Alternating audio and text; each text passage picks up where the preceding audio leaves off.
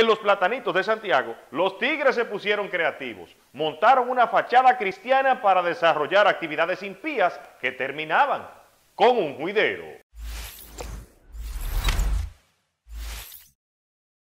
Un local donde presuntamente funcionaba una iglesia evangélica comenzó a llamar la atención de gente que lleva vida. Esto así porque llegaban pasoleros con jucas y mujeres en colalé a escuchar la prédica, casi siempre minutos antes del toque de queda.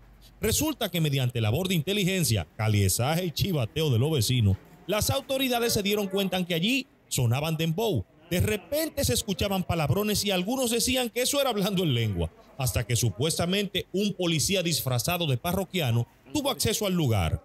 Según chismes y habladurías, se levantó una delgada camarera de casi 400 libras que le dicen la flaquita, con quien tuvo intercambio de fluidos corporales en el patio del local una noche que se fue la luz.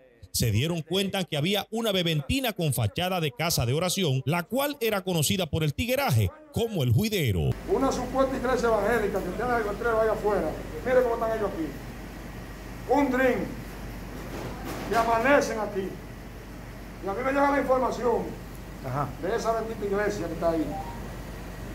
El nombre de una iglesia tiene ahí, ahí. Esperaron que la cosa se ponga heavy. Había tigres, mujeres de vida alegre boceando, fumando juca y dándose golpes en el pecho con un vaso de lavagallo en la mano cuando sonaba un dembow letrolácteo o de humedad clitórea. Montaron un operativo donde fue necesario abrir la puerta con una mandaria, sorprendiendo a todo el que estaba allí trancado infringiendo la ley. Y este grupo de mozalbetes que hay aquí, que aparentemente no tienen familia, eso es lo que yo creo, están aquí a esta hora. ¿Cómo podemos nosotros controlar esta pandemia? Miren, la mayoría mujeres.